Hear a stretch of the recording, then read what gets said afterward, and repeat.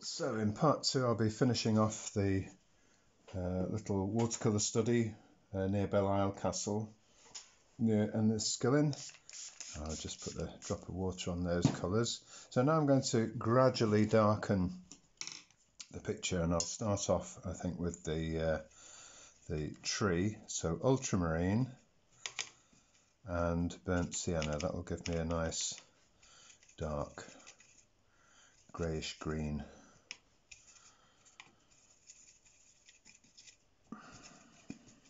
not too much water and using the brush strokes slightly um, elongated this will help to give the impression of um, ivy on the side of the tree. Or well all up the tree.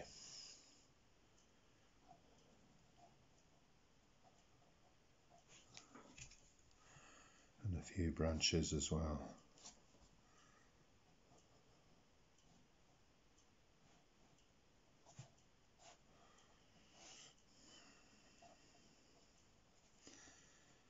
keeping the brush strokes slightly sideways, leaving little bits of the previous green showing. Spiky at the edges, the leaves the ivy. Uh, and this will still go quite a bit darker. We'll build it up bit by bit.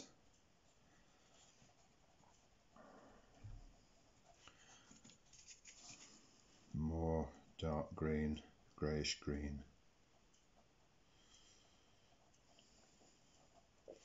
And as I go darker and darker, the effect of the dark will be to make everything else, in the, particularly in the, the background, middle distance, look brighter. So I'll come back to that in a while, just move around the rest of it. Again using the same kind of brush strokes for these overhanging leaves at the top of the picture. Bring those down into the sky a bit. Various points.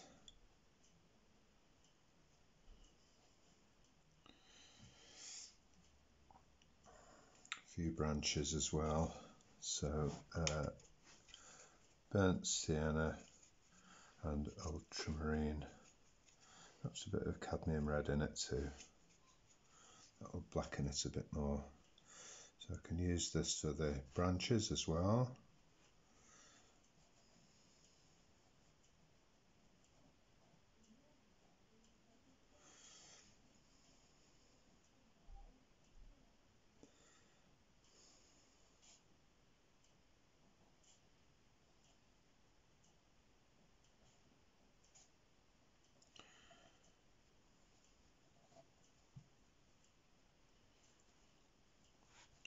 Don't get too stuck in one place, but move around the picture. One of the dangers when you, you're doing anything that's very repetitive like this is, is not to concentrate, um, but you need to consider every brushstroke and um, when you get fed up in one place, move over to a different part of the picture. So there's lots of greens in here. I, am varying uh, the greens when I go back to the palette using a slightly different green. Gradually we'll go darker and darker.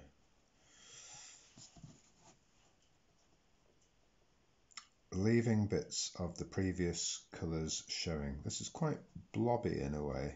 Um, you know, the leaves that I'm trying to suggest are quite blobby.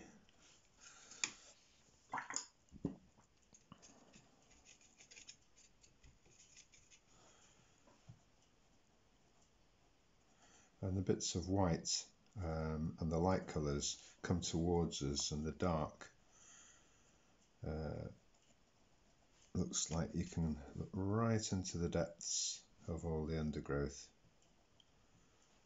here. Again, I'll come back to this in a while, move around the picture. Plenty of leaves around the top.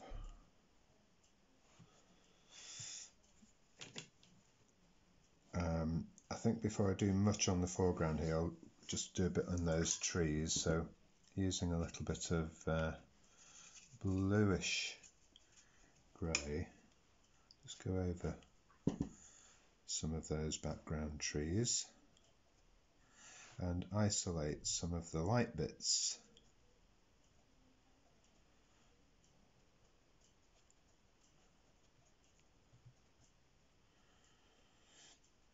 So we've got the, uh, the dark bits making the light greens stand out and come forward.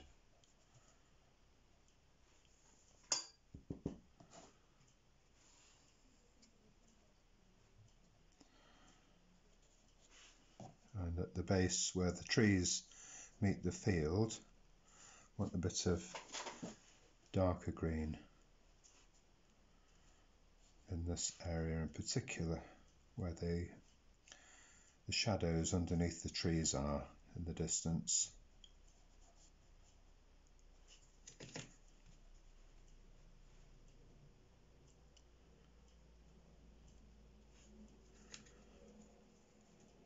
Varying the greens, greens. So there's an impression hopefully there are of lots of different kinds of trees just by the, the different varying greens and the different tones. And then these field divisions, whether these are hedges or ditches, I'm not sure. And there'll be shadows falling across here as well. I'm going to put a bit of ultramarine, mostly weak ultramarine in those shadows. I think ultramarine works really well in shadows. As the sunlight's coming from the left hand side, so the shadows are falling across the field in this direction, keeping the brush strokes horizontalish and I'll separate those fields in a minute once those shadows are dry. If they're not dark enough I can go over them once this is all dried.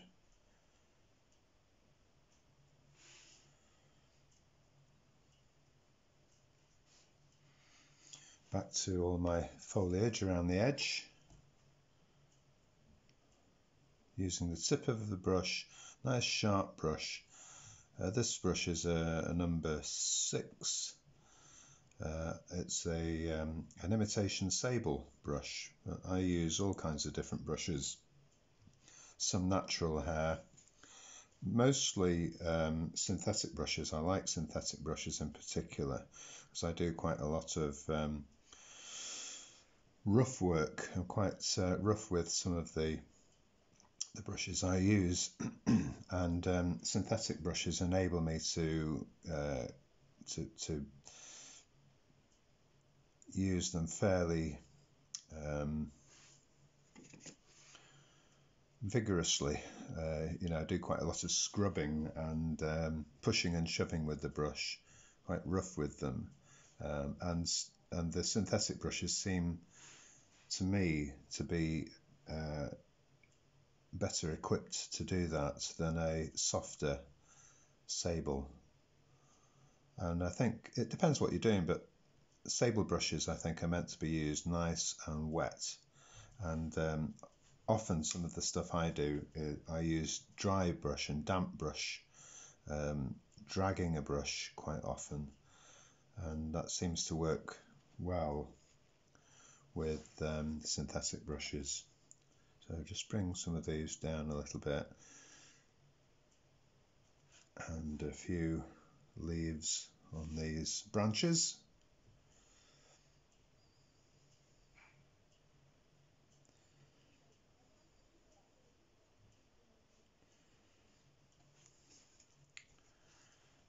Darker and darker. Now the darker right hand side of the tree, this tree in particular, because the light's coming from the left hand side. You can put a little bits of yellow the side there on the sunny side. And the dark side the um, phthalo blue or Winsor blue intense blue and burnt sienna. Plenty of burnt sienna in the mix plenty of it. Give, give me a really nice powerful dark green.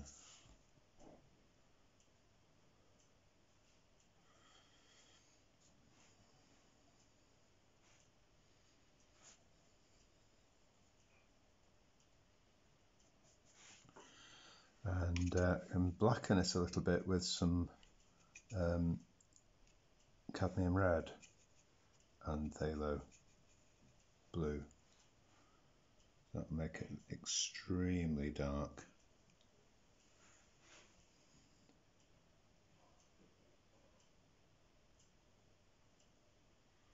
A few fine twigs growing in the undergrowth.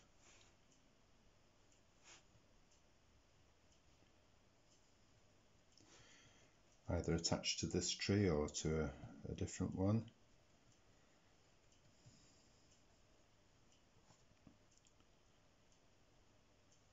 Very, very light touch as well.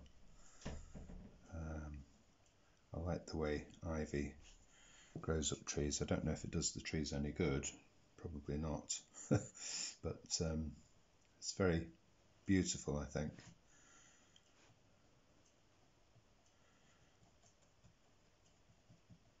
and just remembering to leave bits of the light through all that. Well, uh, that, those shadows have dried now, so I can just put some slightly more darker bits in. Being careful not to go quite as dark in the background uh, as in the foreground.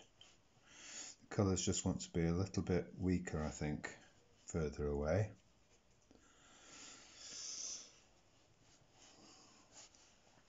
and uh, here there's a uh, some fence posts to go in.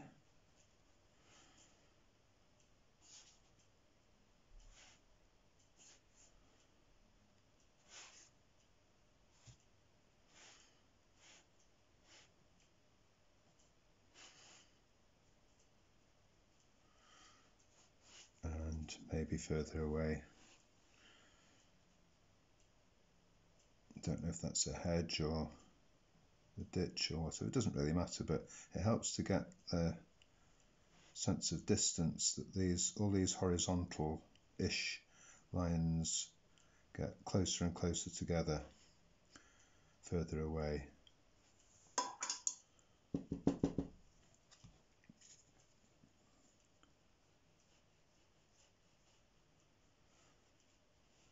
Just drag a bit of green, mid-green, and touch it down. That's what I call splodging, where it hits and misses.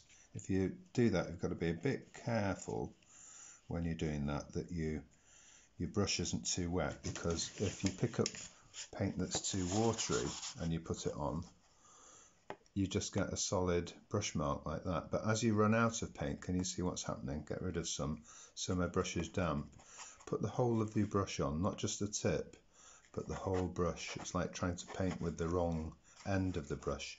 And if, if your paint isn't too watery, you just touch your brush on and get some lovely effects that way, which work, works well for all kinds of different things. And uh, here it's suggestive of um, lots of different things growing. And the white bits, hopefully, are flowers. So uh, I'm just going to darken that tree a bit more. Phthalo blue or intense blue. Um, you could use Prussian blue, um, you know, instead of the uh, Winsor blue or the phthalo blue. Prussian blue is not quite as bright um, as uh, the phthalo blue, so uh, I I prefer the the phthalo. Uh, it's a very powerful colour though, very um, powerful staining colour, so you need to be careful when you use it not to um, not to put too much in your mixes because it can very easily dominate. And if you get it on a picture and you decide you want to take some off, it might not come off too easily because, it, as I say, it stains paper and um, can be very difficult to get it off. also difficult to get it off your clothes as well, so be careful. But a lovely colour when used carefully. So some more darks in here. It's all quite blobby and impressionistic really. Um, uh, same on the other side, want some more nice darks in this foreground area. But uh, being careful not to have too much of the same colour, but to vary it a bit, vary the strength of colour as well. And in front of all this, or at the top of all this, there will be, I'll perhaps use a finer brush in a minute, but there'll be lots of grasses and vegetation springing up. And some of these whites could be in shadow. These uh,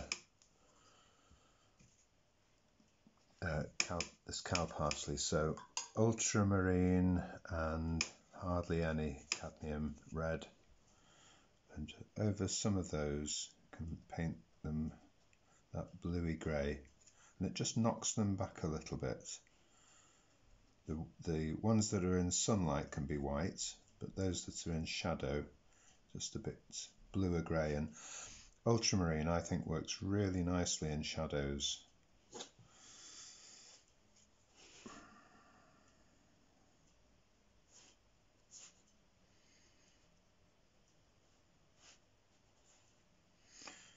just a few little bits of dark amongst all these trees in the distance.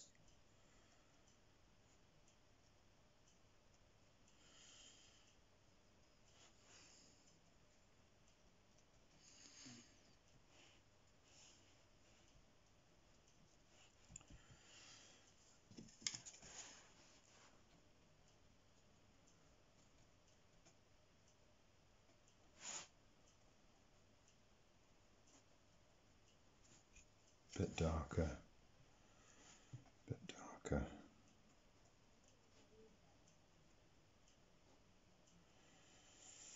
There's nothing wrong with using uh, ready-made greens if you've got greens that you like. Um, I often just mix my own using yellows and blues. Um, I tend to just stick to um, a couple of blues, that's the ultramarine and the phthalo blue and um, with those two mixed together you can mix cobalt blue. And um, the two yellows I use cadmium yellow or cadmium yellow light and lemon yellow or Hansa yellow light. Right some more darks amongst us. A bit darker still. Bring in some very dark leaves so I can use the either the phthalo blue or the phthalo green doesn't really matter. Plenty of burnt sienna. Plenty of burnt sienna.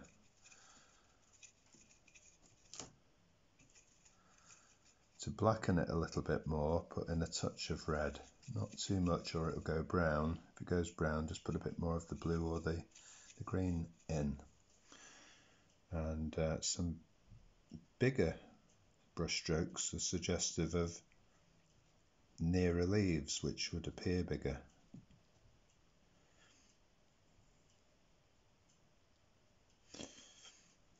Some clusters don't have, really have to worry too much about branches.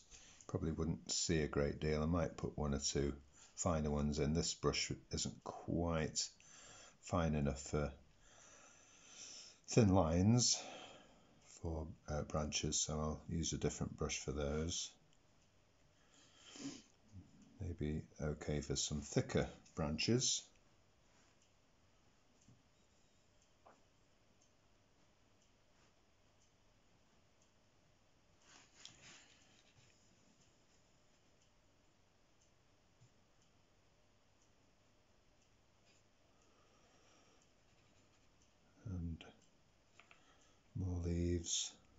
Keeping some of the, the lighter ones. As you go darker and darker, just be careful not to completely obliterate the uh, previous lighter greens. But start light and build it up.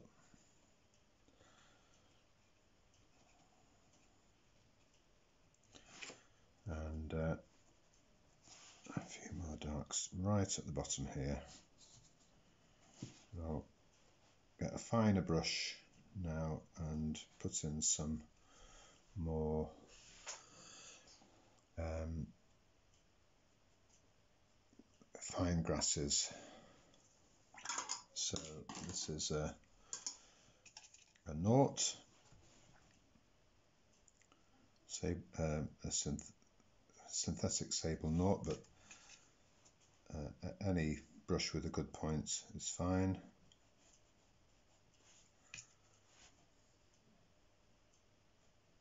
Few little blobby bits for like seed heads.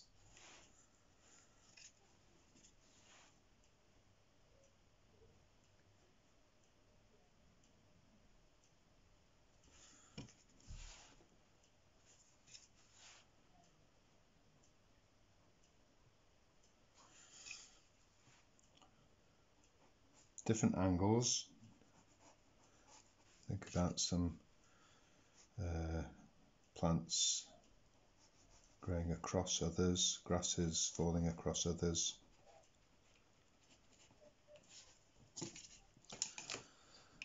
More darks.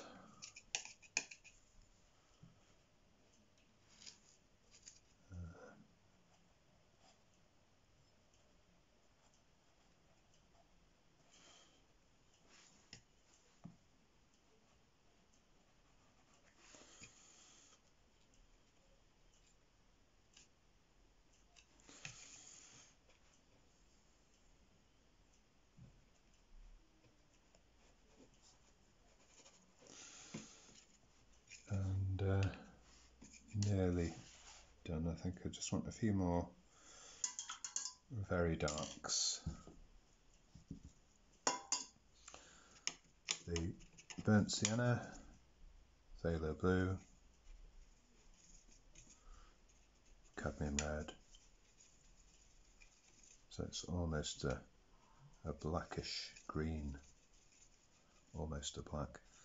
But you could use black with some of those colours if you wanted. Um, some people say you should never use black, but um, my view is that if you like it and it works for you, then I don't see why not. But on its own, it can often look a bit dead and uninteresting. So um, maybe add other colours to it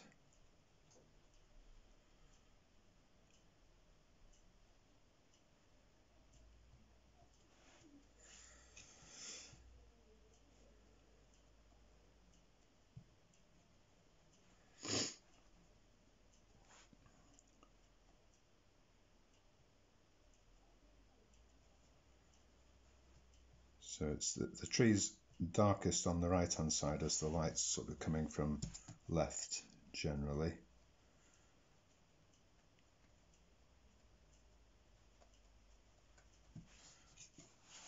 And some very dark bits to the right and the left of centre. So you could just maybe imagine that you're emerging from this shadowy woodland into the sunlight there and you could just pass through the middle bit there uh, into the sunshine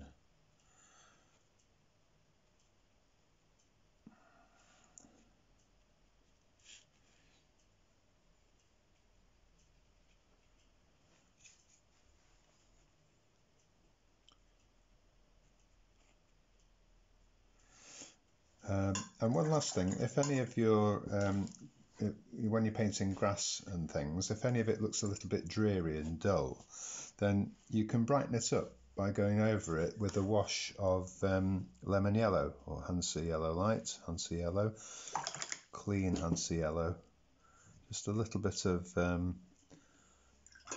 thin lemony yellow over anything that's dull. Um, the, these were the clouds that I did before, but if you know if, if, if you go over it with the the lemon yellow, it makes the sunshine, doesn't it? I'm not saying you should do that in clouds, but you know if you've got really dreary looking grass, um, then just give it a wash or a partial wash of some lemon yellow. I'll just put a little bit in that middle section, and it just brightens it up a little bit. a Very maybe a bit there. Just uh, helps to bring the sunshine out wherever you need it. And any of these white bits that um, I've got that are left out, that I'd, if I don't want them, I can go over them with pale greens or yellow. I, I like to leave quite a bit of it white for the um, cow parsley. But I think that will just about do me. And uh, so very quickly dry that. Very quickly dry that with the hair dryer.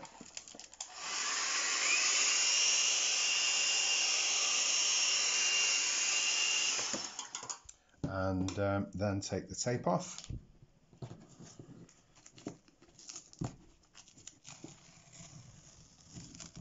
And uh, this tape is um, it's like masking tape but it's this one's called framing tape. Uh, it's what goes on the back of picture frames. Uh, and I, I use it a lot of it's just a little bit stickier than uh, most masking tapes. But you've got to be a bit careful when you take your tape off that you always take it away from the picture because it can tear if you're not careful if it does tear it, just go over it with your fingernails. And there's the finished picture. Well, I hope you've all enjoyed that. Um, have a go at it yourself, and I look forward to seeing you next time.